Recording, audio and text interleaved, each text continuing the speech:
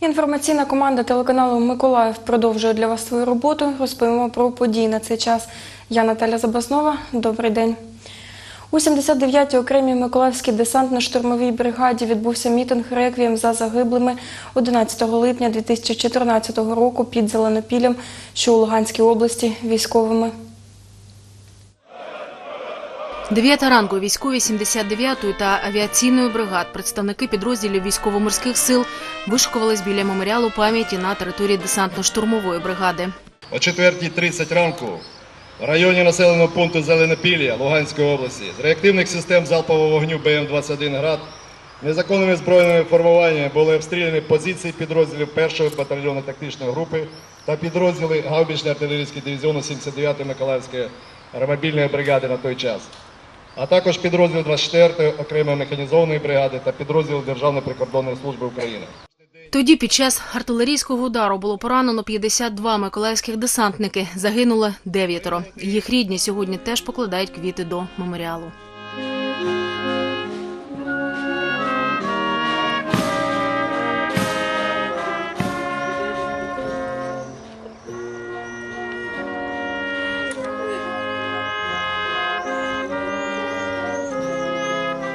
Я втратила саме найрідніше це свого синочка, якому виповнилось 20 років. І, на жаль, я не змогла його 20 років обняти, поздравити, тому що 11 липня, ой, 11 да, липня 2014 року їх засипало градом. І я не дождала свого синочка додому. І мені його привезли в закритому гробу. Це сама тяжка втрата. Втратила сина Новіцький Анатолій. Теж 11 липня, п'ятого їх засипали градом. Також йому було 22 роки. Також привезли додому у гробу. Також не обняли, ні- нічого. Він навіть не сказав, що він там. Він казав, що він у Херсоні стоїть на Чангарі.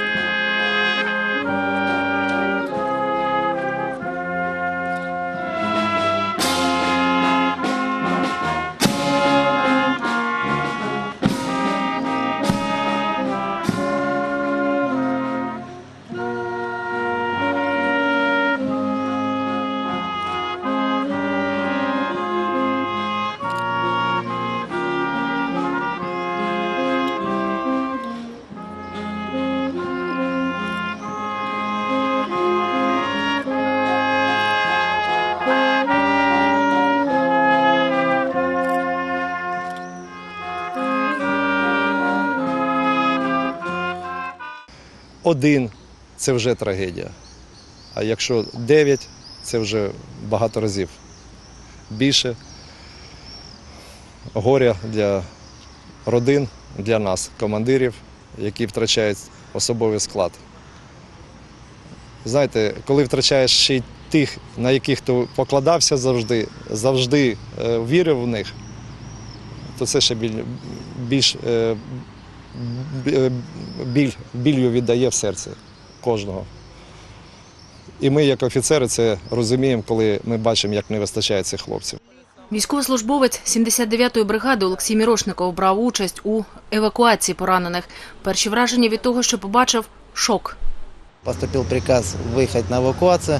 Мы с майором... Поступив наказ виїхати на евакуацію. Ми з майором Кашаповим, царство йому небесне, загинув також він. Виїхали на евакуацію. І коли побачили, що там було, там був шок. Я був шокований вперше за цей час. Я до кінця не вірив.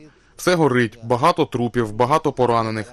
І не знаєш, що робити, хто з нашої бригади, хто чужий там.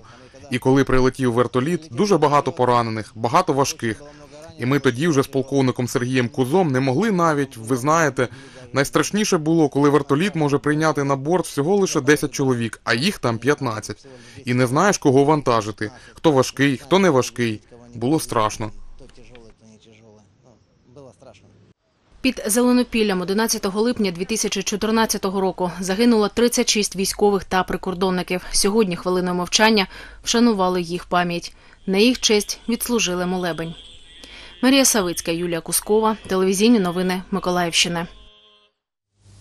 На Миколаївщині горять гектари полів внаслідок дій аграріїв. З початку літнього сезону на території Миколаївської області панує спекотна погода. Пожежі виникають внаслідок дій аграріїв, які спалюють залишки стерні на скошених полях. Зокрема, минулої доби, 10 липня, на відкритій території села Бузьке Вознесенського району внаслідок необережного поводження з вогнем горіла стерня на площі 4 гектари. На місці працювали рятувальники 12-ї державної пожежної рятувальної частини. Додатково здійснювався підвоз води.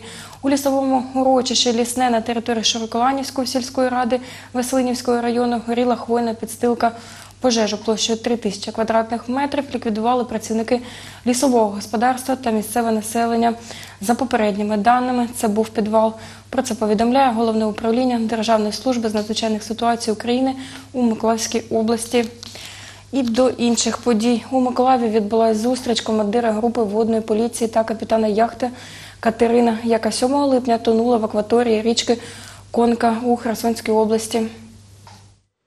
В операції порятунку брали участь поліцейські групи підтримки громадського порядку на воді головного управління Національної поліції в Миколаївській області, які перебували на патрулюванні акваторії Дніпробузького лиману. До них за допомогою звернувся капітан яхти, який залишався поблизу судна.